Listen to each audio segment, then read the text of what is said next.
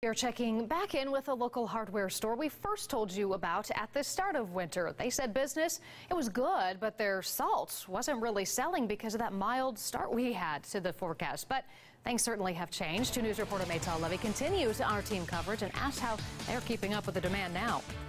The men at Grieve Hardware are stocking up on rock salt after one of the busiest days of the year. No such thing as being too prepared. Nick Beener has worked at the store in Kettering for seven years. It's been an experience. I love it. The store usually carries skids full of rock salt just like this one.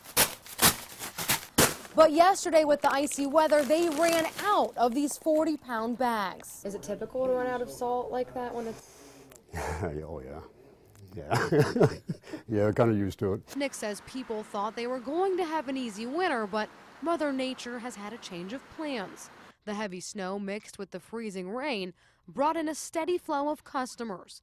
The store ended up having to get salt supplies from other locations. We're still in good shape. Uh, I don't see ordering anymore between the two stores. We should be fine. But salt isn't the only big seller at the store.